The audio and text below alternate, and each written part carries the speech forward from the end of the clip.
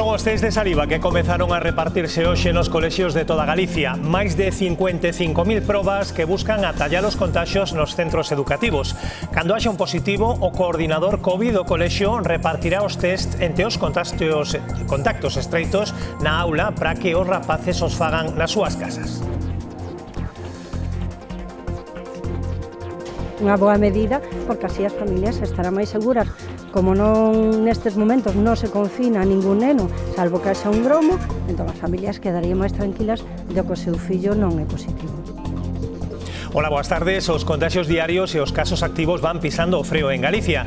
Hai menos contagios diarios e os casos soben moi pouco con respecto a onte. O Conselleiro de Sanidade di que estamos preto de chegar ao pico desta sexta onda, pero pide prudencia.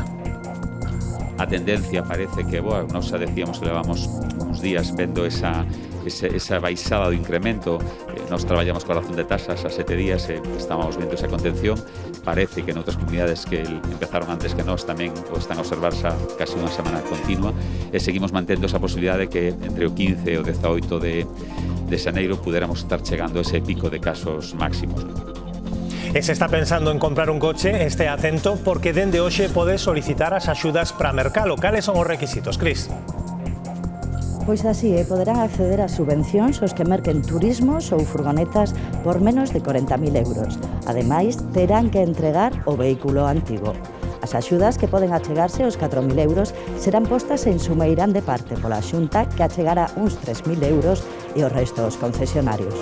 As subvencións poden acollerse tanto particulares como a empresas.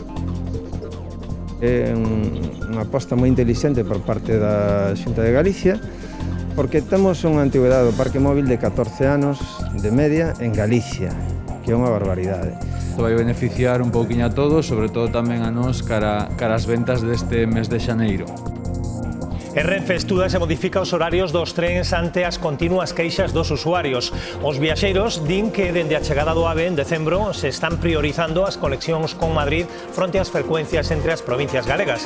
Os máis afectados son os traballadores. Moitos tiveron que volver colle o coche. Quitaron o tren no que iba e puxeron un antes e un máis tarde. Que se teñan en conta eh, os eh, horarios que temos os traballadores para desplazarnos.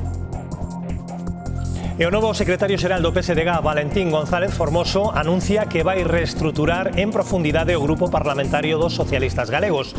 Como portavoz estará Luis Álvarez, que hoxe se presentaba oficialmente ante os medios acompañando a Formoso. Deste posto sae o seu rival nas primarias, Gonzalo Caballero, que hoxe garantía que seguirá sendo deputado e non descartaba incluso presentarse como candidato ás próximas eleccións autonómicas nin confirmo, nin descarto, esa non é a miña prioridade a día de hoxe. O tempo esclarecerá cales son os mellores pasos que cada un debe dar para fortalecer o PSDG. Temos que ter altura de miras, non temos que perder tempo en cuestións de que un este cómodo ou incómodo. Creo que eh, cada un de nós temos que vir da casa totalmente cos deberes feitos. Esta mañá pasaban a disposición judicial o xa dous detidos en relación coa coitelamento desta fin de semana no Orzán. O agredido continúa na UCI do Hospital da Coruña. Estes feitos volven poñelo foco nesta zona da capital herculina que vive episodios violentos cada vez con máis frecuencia. E vexan agora como circulaban os coches no polígono das Gándaras de Lugo este venres a toda velocidade e poñendo en perigo a todo o mundo. Os veciños seguen denunciando as carreiras ilegais que se organizan nesta zona. Nas imaxes podese ver claramente tamén que hai moito público nas beirarrúas. Hai dous sancionados por estes feitos. E hoxe cúmprense 20 anos da morte dun dos nosos grandes literatos, Camilo José Cela, escritor prolífico na súa extensa obra destacando os libros La familia de Pascual Duarte e La Colmena. Recibiu innumerables galardóns, foi Premio Nobel, Premio Nacional de Literatura, Príncipe de Asturias e Premio Cervantes. A súa personalidade marcou a súa vida e a súa obra. Mi padre construyó un personaje para uso delante de eh, periodistas o auditorios que esperasen pues esa especie de versión tremenda, pero eh, la verdad es que mi padre no era así en absoluto, eso es una creación literaria más. En canto tempo, clarexo voceo e agardamos que a tarde siga solleira en toda Galicia. Sopra vento de componente leste frouxo e as temperaturas soben na metade sur. Nas rías baixas mesmo poden rozar os 20 graus.